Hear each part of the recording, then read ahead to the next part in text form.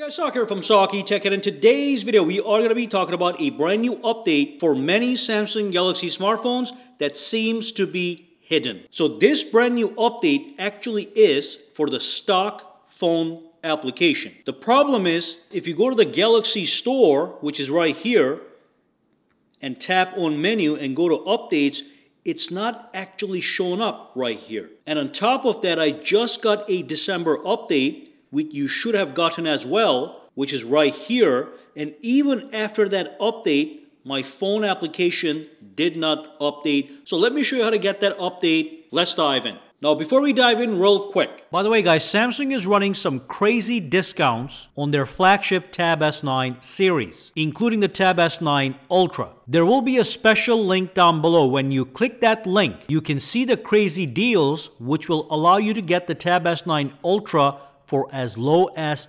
$400. So you are able to get up to $700 in trading credits, 20% off student discount, and you will get a free slim keyboard case. The links are down below if you want to check it out. So what you want to do to get the update is go to your phone application and you are going to see this red icon on the top over here. You tap on it and again under settings you can see there's a red circle that means there is something that is updated.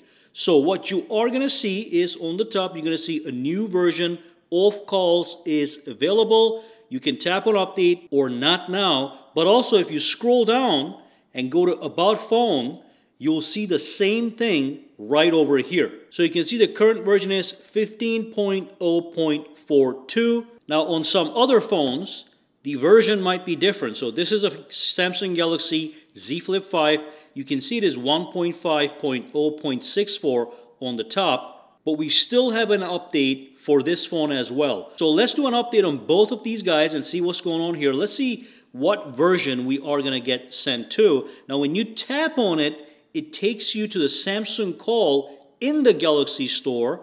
And I just showed you earlier that the Galaxy Store doesn't show this update, but when you go to the actual phone application, it actually brings you right here. Then you can tap on update.